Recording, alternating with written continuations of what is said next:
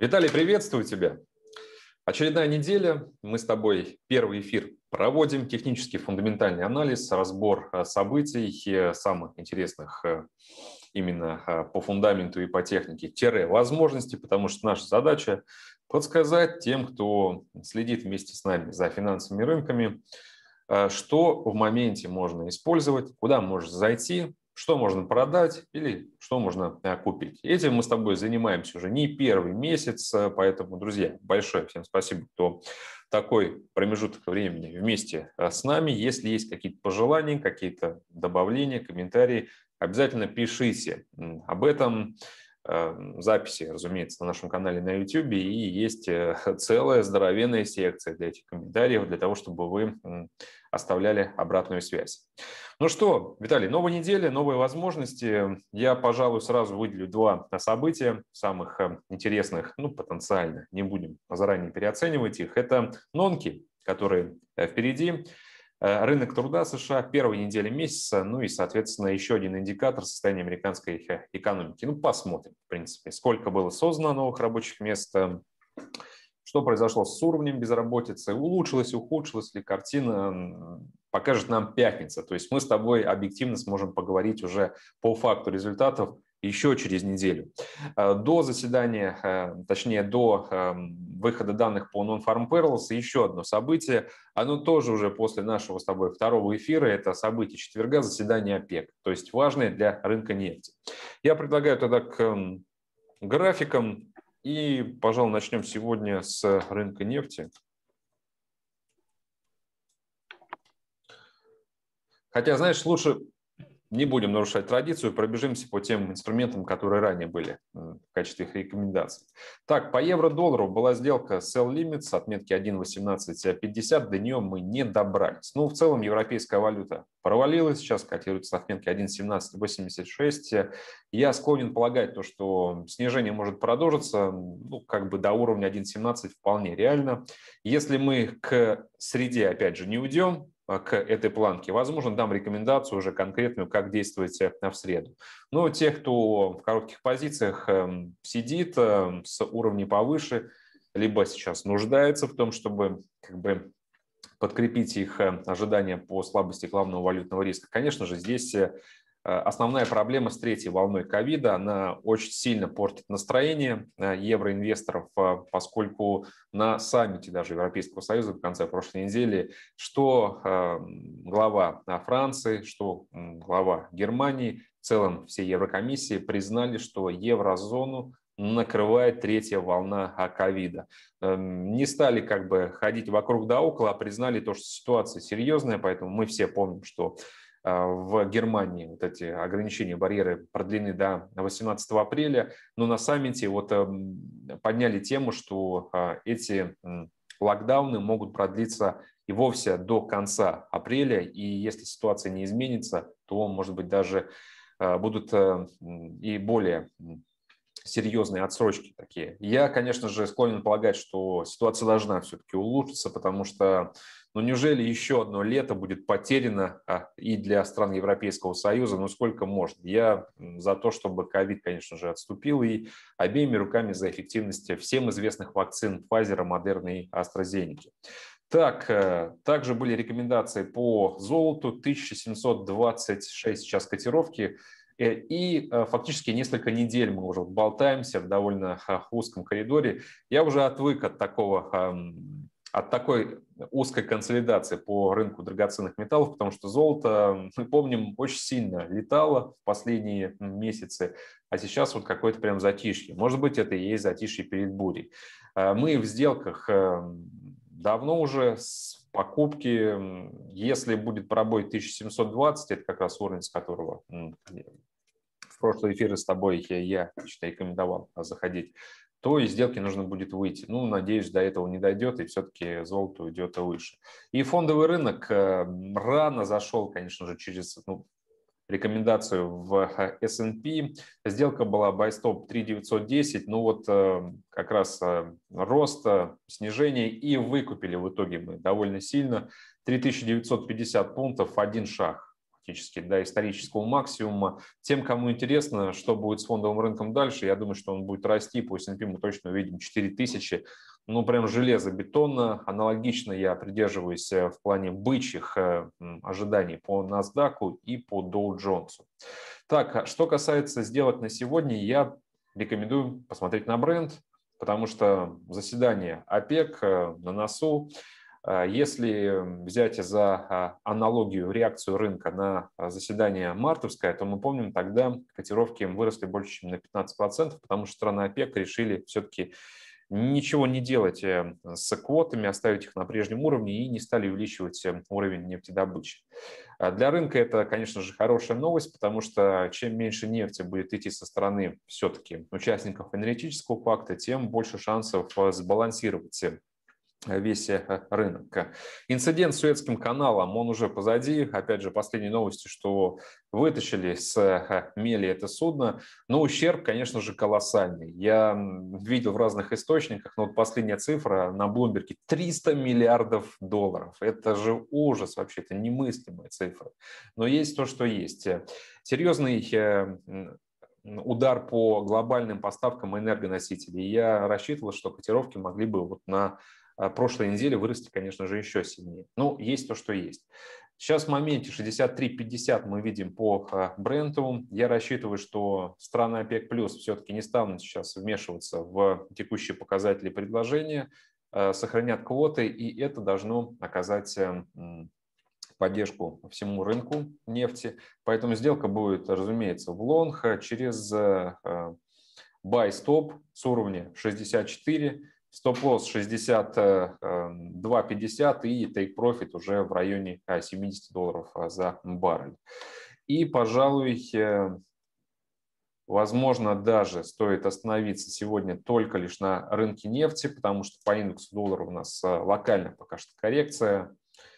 Сделать не будет. По евро-доллару я оставил в силе прошлую рекомендацию – если не доберемся до этого уровня, но я по-прежнему останусь медведем, как я уже отметил, конкретную сделку дам уже в среду во время нашего следующего с тобой эфира. Ну и по фондовому рынку рост уже начался. Я думаю, что как бы а, рискованно, конечно же, сейчас залетать в него, но тех, кто готов рискнуть, почему бы нет? 4000, как я уже сказал, вполне реальный ориентир. Виталий, слово тебе.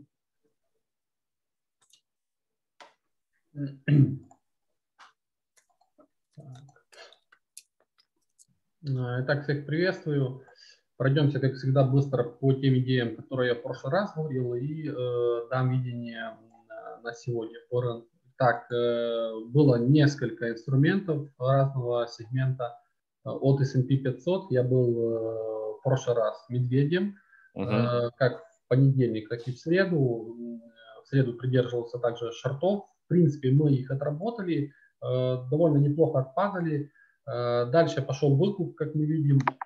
И на текущий момент я пока вне рынка по S&P 500 э, по поводу шортов, а по поводу лонгов э, частично с тобой согласен, что сейчас техника показывает на то, что возможно вот этот рост он продолжится. Посмотрим, конечно, как сегодня закроется день. Если его там скинуть, и он закроется там ниже пятницы, low, точнее, ниже low пятницы, то можно будет говорить о каких-то шортах. А на текущий момент э, пока лонг, и я думаю, что можем э, неплохо так подрасти, потому что вот если посмотреть э, вот предыдущие месяцы, вот скидывали, когда mm-hmm. достаточно так сильно, вот выкупная такая, выкупный сильный бар такой бычий, и мы пошли на перехай.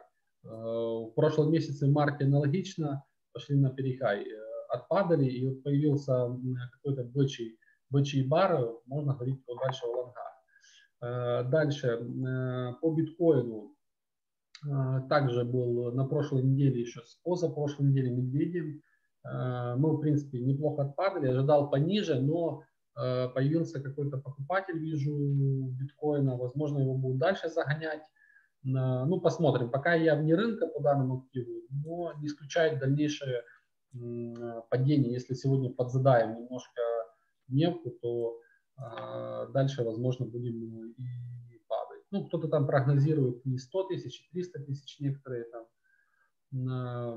скажем, аналитики. Ну, посмотрим. Дальше золото. По поводу золота. В прошлый раз я был медведем, говорил, то есть вся прошлая неделя у меня была медвежья по золоту. Мы, в принципе, локально отпадали, но на текущий момент я с медведя перешел на сторону, на твою сторону, в сторону БК. Если мы все-таки э, сегодня Э, удержим э, вот эту поддержку, о которой ты говорил уже давно, э, где-то плюс-минус там 1720, то в принципе здесь возможен лонг по золоту и достаточно сильный. То есть, возможно, здесь рисуется паттерн на разворот вот этого тренда, который у нас идет достаточно долго, уже более полугода. Вот, в принципе, очень похожий был паттерн вот здесь, э, в ноябре, то есть очень похожий. Э, если он сегодня сформируется и реализуется, то отсюда мы можем стрельнуть очень-очень сильно вверх по золоту, возможно, и э, с перехаем, который был в прошлом году там выше 2000 э, долларов. Поэтому здесь потенциал на, на покупку достаточно сильный, более 300 долларов. Э, стоп-лосс, возможно, небольшой поставить, где-то Э, ниже 1720, но главное, чтобы мы сегодня эту отметку держали, не провалили сильно, потому что если э, мы все-таки будем 1720 эм, пробивать, то здесь э, падение вот до уровня 1670, и там уже нужно будет искать, возможно, покупки пониже. Это э, вот эти цели, которые я говорю, 2000, это при условии, что э, это все коррекция идет э, к предыдущему восходящему тренду. А, даже если это не коррекция, а, а скажем, уже пошел какой-то заходной импульс, там есть варианты того, что это заходной импульс э, по золоту на глобальный разворот вниз, то э, какая-то коррекция к этому тренду должна быть. Поэтому ждем. Сегодня, если закроемся все-таки выше этого уровня, то я думаю, дальше можно будет покупать э, золото. По нефти марки Brent ну, здесь частично с тобой не согласен по поводу лонга. Он, конечно, здесь чуть-чуть так поджимает. Видно, что вот э, последние несколько дней у нас э, девочки так э, выкупают минимум все выше. И все идет, возможно, к пробою уровня там, 65, ну, там плюс-минус.